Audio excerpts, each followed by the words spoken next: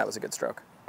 Average on tour, the pace of a stroke is between 70 and 75 beats per minute, where a lot of the best strokes in the world are. You know, you just get the one, two,